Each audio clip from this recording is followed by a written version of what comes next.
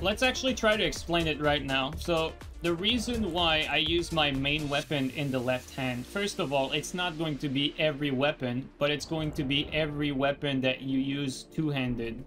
So whether you use it two-handed in the left or right, I mean, it's going to be the same inputs for everything, except the moment where you equip the thing. But with that being said, the advantage of having your shield in your right hand is that no matter which weapon you're using, your shield always stays the same. So if I'm using the greatsword here, I'm using the shield with it. And if I'm using, uh, let's say, this weapon, the HTS, the shield still comes with it. If I am using this weapon, the shield still comes with it because the shield is going to be my best uh, like side weapon, if you may, option because it has like passive status resi uh, yeah, passive status resistance. Other options would be to have this shield or the regen shield. So basically, no matter which two two-handed weapon I am using, I'm gonna have this shield equipped. So instead of building an inventory around every single weapon that I can possibly equip, because if I was to use my main hand weapon as my primary weapon, I would not have access to the to these swaps. Let me explain after this loading screen. So, when we use, let's say, um, let's say that our main weapon is this axe here. Or let's actually grab the lance. If, let's say, you are using the lance as your primary weapon, and you have the shield here as your secondary weapon, you see here my lance has an inventory built around it so that I can swap to different things.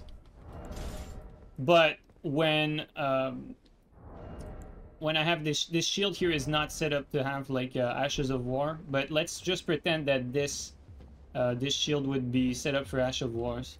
So I would be able to swap to um, to something and like do a flame strike, for instance.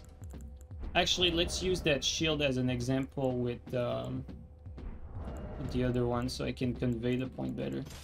Okay, so like this, for instance. With this shield here, if I'm using the lance, I can swap, right? And I can do my swaps just normally. And I have my weapon in the, the main hand.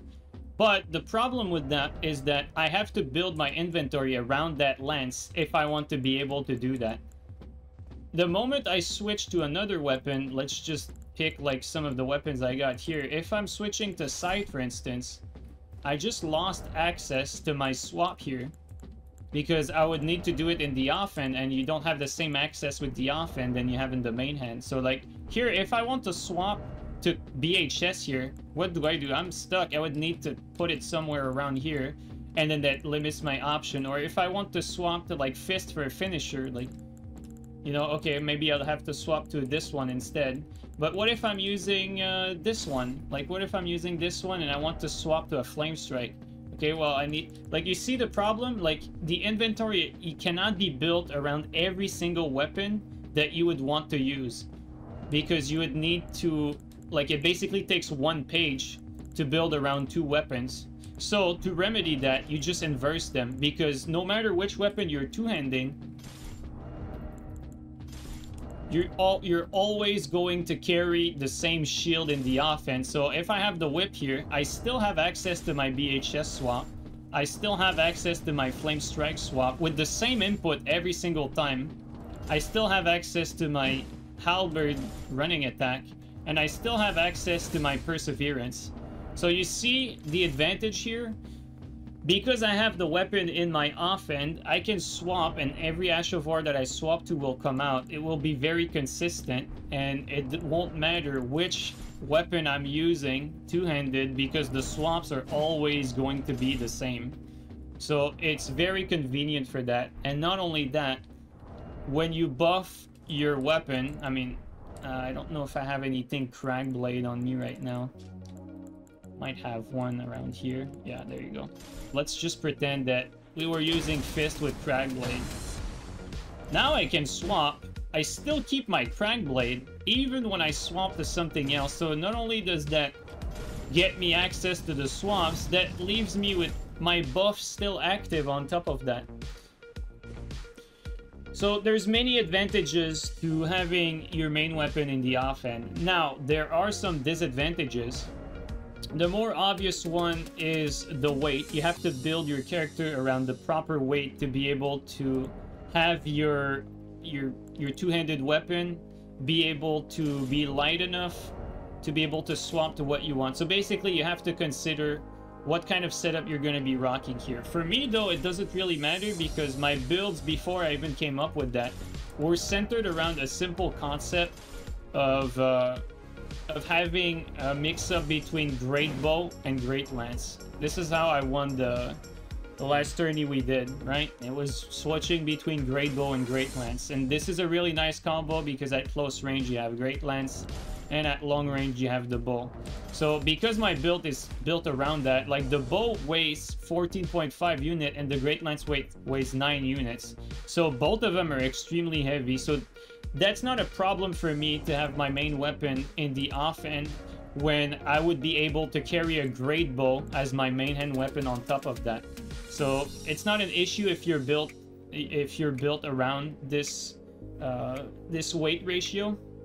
But if you are not, it could be a problem. With that being said though, if you are, for instance, playing mainly with Fist, so let's say you are playing mainly with Fist here, What's great is that the fists weigh uh, about the same as the shield here, and if you would be using this shield, well, this shield's weigh way more than the fist. So if you're playing optimally with a regen shield, swapping your regen shield for something else is actually very, very optimal weight-wise. So it's not just a disadvantage for the weight ratio when you're using this southpaw method. So if you were using this icon shield optimally, you would you'd still be able to carry like pretty much anything that you would set up your build to carry. And when you swap to something else like you see the shield is the same weight as this halberd. So like instead of being heavier if i had to swap this uh this um, curve sword here for the halberd instead i would be way heavier because i'm switching from uh curve sword that's like four units or 3.5 unit to a halberd that's 11.5 as opposed to swapping from 11.5 to another 11.5 so there are some advantages there. Now another disadvantage of this particular setup is that uh, you cannot use uh, like um, setups that are hybrid. And what I mean by that is like when you have let's say a dagger and a halberd. If you want to use like a dagger and a halberd, you would need to build your build around that. So you'd need to have like a weapon that that's a halberd that's specifically set up. So this is also an issue for power stance stuff. Like if I want to use power stance straight sword here, because I have it set up in advance, I'm able to do it and have access to my swap. But now if I want to use power stance spears, for instance, now my inventory is not made for that. There's a compromise that's to be made there, so I like put some spears like that's like around the dagger, so if I need the BHS swap to escape, I can still do it they're not like buried buried deep in the inventory, for instance. But that is something that you have to keep in mind. Like power stancing stuff, you would need to build your inventory around it, which is the reason why we still have, uh, you know, great lances like here completely set up. It's because I will be able to play the exact same way with these great lance and these swaps as I am playing with any weapon that I two-hand when I have the shield on my back. So that's pretty much it. I think that covers the advantages and disadvantages of having or playing Southpaw, having your main weapon in your offhand.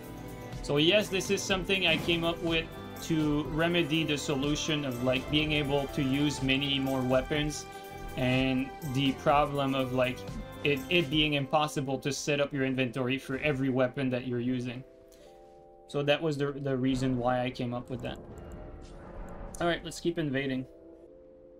Also, not to forget, like, you can't forget to mention that because my swaps always stay the same, the muscle memory that you develop when you're swapping to these is always the same. Like, no matter what you're using, the inputs are always the same.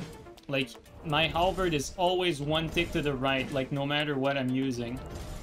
Like I can have the claws, I can have the katars. The input is always the same. So that makes it very, very reliable and you will develop muscle memory around it. And so no matter which inventory I'm building, I know for a fact that my flame strike is always in the same spot. My flame strike is always one click left.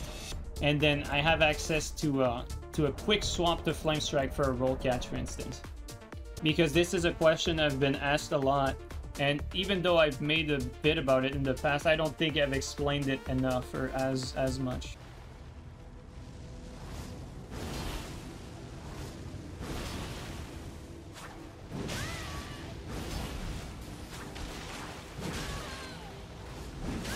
This guy has good connection.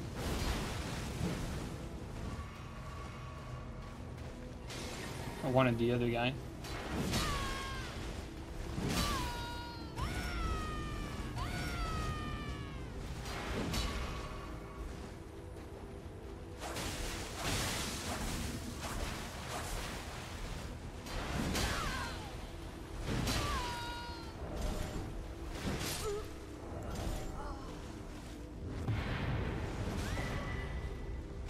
This guy had like the best connection we've seen today.